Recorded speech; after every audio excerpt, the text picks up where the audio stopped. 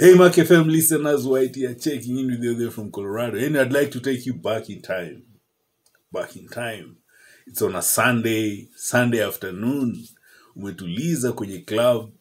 Maybe uko pale tents, mahema, ama uko maybe city cabanas, ama uko gardens kwa unasikiza tu ngoma, unaitisha kanywaji yako, piga nyama choma kiasi, ukisikiza ngoma. Ngoma kaa hizi ndo ulikuwa unazisikiza hizo enzi. Ukisikia hapo sasa inaisikiaga maana ya maisha life piga life proper sikiza ngoma nakwambia sunday afternoon club nyama choma kanywaji na ngoma kaa hii sikiza taratibu nakwambia taratibu eh?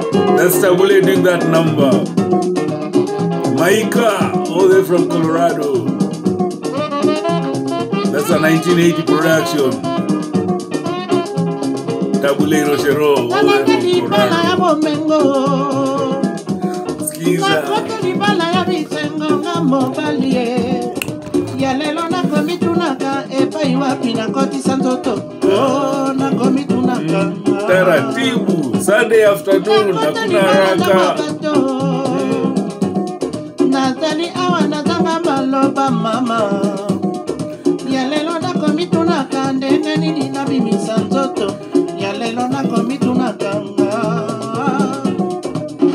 ntango nyonso ene biso tosambaka ah. soki tosani na ndako mama ya mwasi ya bibi banoko epai bakongala kaka po tosamba ah, po tosambaanga ah,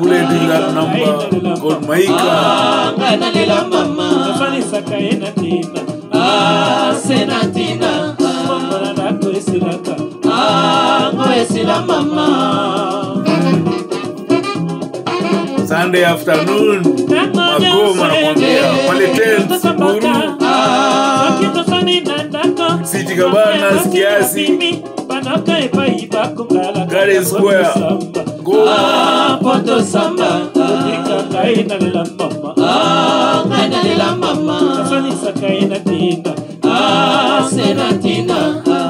ntango esilaka ah, ntango esilaka narativu ounaraka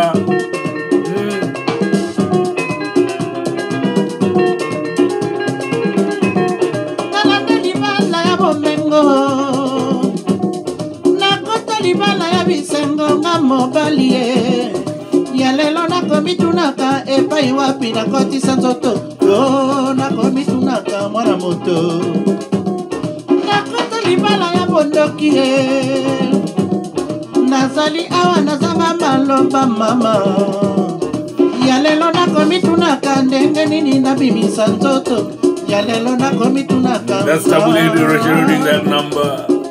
ntango nyonso biso tosapataka soki tosani na ndako mama ya mwasi ya bibi banango epai bakongala kaka po tosamba na mpoto samba obika ngai na lelama